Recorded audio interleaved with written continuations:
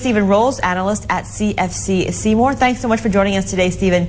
Listen, uh, the dollar weakness that we're seeing persisting today as well is not really letting up. Uh, what exactly is going on in, in, trading today? Well, I think what's going on is we're, we're looking at the equity markets across Asia, and uh, that's really being reflected in uh, concerns of uh, the subprime concerns and overall growth concerns in the U.S. are uh, coming through in the in the equity markets, and that's pulling down the dollar a little bit more today as well. Is this could this have anything to do with the FOMC minutes that came out, uh, you know, two days ago, where basically the Fed uh, downgraded its forecast for next year? But at the same time, uh, how did you read that statement? Does it mean the Fed is going to cut rates in December or not? Because the market seemed to be expecting a rate cut now. Yeah, it, it was quite an interesting uh, uh, statement to read, and uh, going through it, um, well we really picked out from it was that uh, we do think that they will now cut rates in December, but we don't really think that they want to, but we think that they will because they really focused on the downside risk of growth.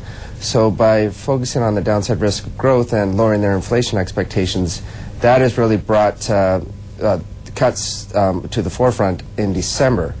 But uh, looking ahead, we still think that in the first quarter, we, we think that the subprime concerns will um, alleviate a little bit and uh, that inflation concerns will come back into the picture. So we think that uh, there won't be a string of cuts like some people in the market are saying, but we think that uh, one cut in December should, should be enough to offset some of this uh, concerns on the growth concerns. And so then would you be still advising your clients right now to sell dollar?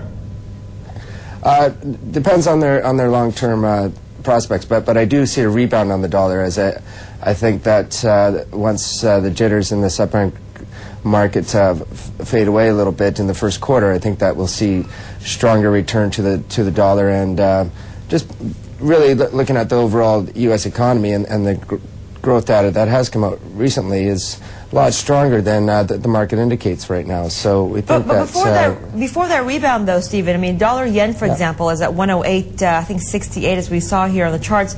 You know, with this sort of unwinding of the carry trade that you're suggesting that we're seeing in the markets today, I mean, how low could we see dollar yen go before this rebound occurs?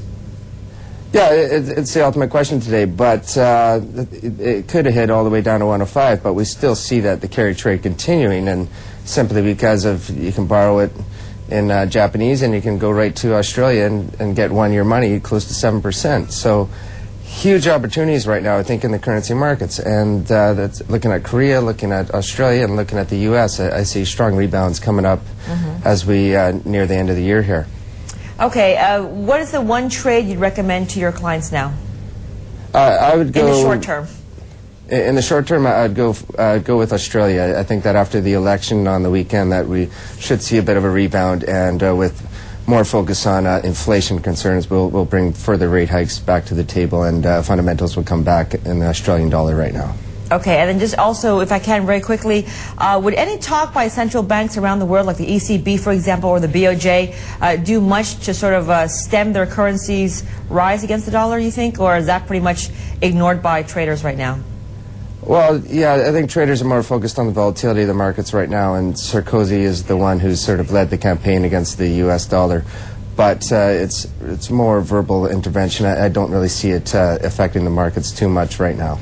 All right, Steven, a pleasure as always. Thanks so much for joining us. Great, Steven Rowles, analyst at SJS Seymour, joining us live.